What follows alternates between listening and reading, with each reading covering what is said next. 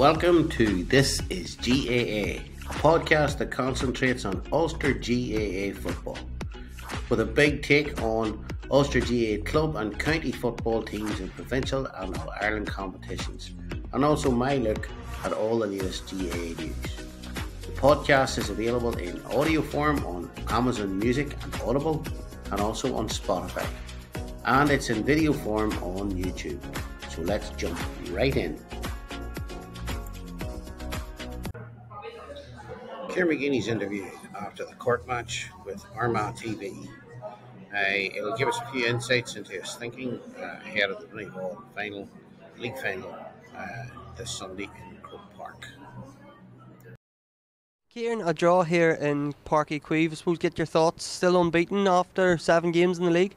Yeah, no, it was you know ups and downs. I thought we played really well in the first half, and we didn't do too bad in the second half. Maybe we were ponderous on the ball, but um, two back passes for two goals now would, would wouldn't be happy with that. But listen, uh, they, they reacted well to both of them. In fairness, it's um, like you know, you give a team the Cork like those sort of chances they're going to put them away. They're very strong on the counter, a really good, strong running team. Um, it was disappointing to give those goals away. Like we haven't given any all year, so like the, I suppose to set the team up for two, like it's a bit disappointing. But you know, it's just. Um, but as I said, they did very well to come back and, and get a draw out of it.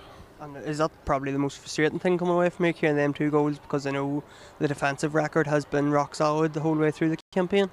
Yeah, no, but at least to know that it's something that they can, you know, they can fix. You know, you, you just can't go to sleep with those types of hand passes. So, uh, but you know, you have to look at the other side of it. Like to make six points up is, is a good like indicator of their their fight and their willingness to push on. And like, you know, getting TK in there today too, in, like you know, a full seventy minutes under his belt. Green got a half too, so you know, a lot of a lot of positives out of it as well.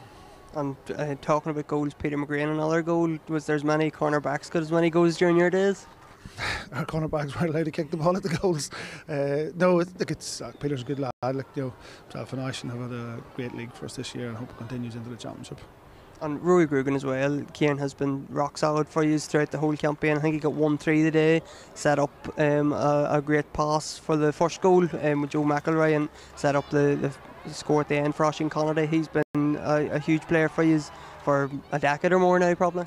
Yeah, Rory's first class. Like there's, there's very little superlatives that you can use from him. Like, like well, I haven't used. I, I think he's he probably doesn't get the recognition he deserves, but um, uh, like he was, he was asked to finish was sublime. Like there's there's very few boys can finish from that type of an angle. Like so, uh, very composed on it. So yeah, no, like but um, he's he puts in the work and he puts in the time. Like you know, he's he's very skillful, but like he's a great worker for us as well. So no, no, just definitely he's had a great league. But like, for these boys now, as they're pushing on, and we have another big game next week, another game two weeks after that, so they're coming thick and fast. And I suppose how, how would you sum up the league as a whole? Because I know it's not finished yet. You, you have a league final next week, but of the, the seven games, how would you sum it all up?